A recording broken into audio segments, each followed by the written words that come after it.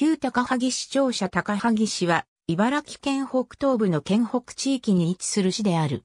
明治以降炭鉱の町として栄えていたが、現在は木材加工が中心となっている。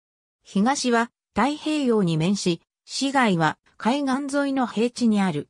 西は低い多賀山地の一部で、市の面積の大部分がこの山地にある。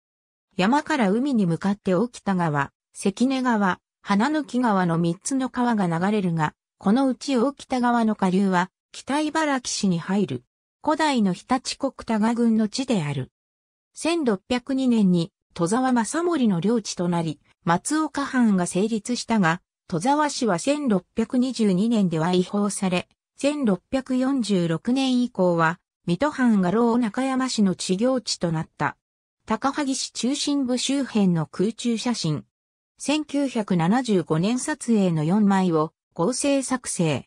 国土交通省国土地理院地図、空中写真閲覧サービスの空中写真をもとに作成。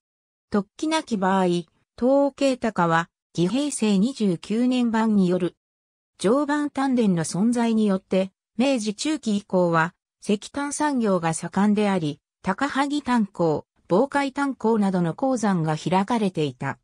しかし、石炭産業の衰退に伴い、木材加工、パルプ加工等に産業の中心はシフトしている。